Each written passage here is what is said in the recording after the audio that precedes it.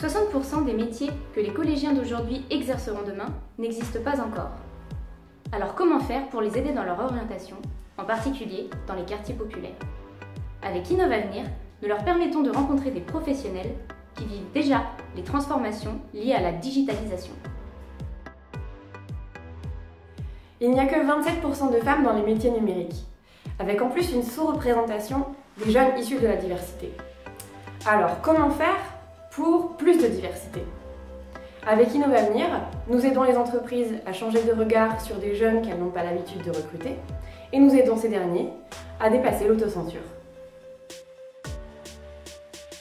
Les 16-24 ans passent près de 2 heures par jour sur leur téléphone. Mais combien d'entre eux comprennent comment il fonctionne Avec Innovavenir, nous les aidons à comprendre leur environnement numérique et même à créer leurs propres applications.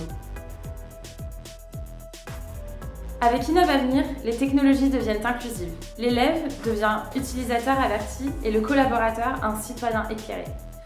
Partagées par tous, les technologies reflèteront plus justement la société. Pour que la révolution numérique ne laisse aucun jeune de côté, votez Innovavenir avec la Fabrique Aviva.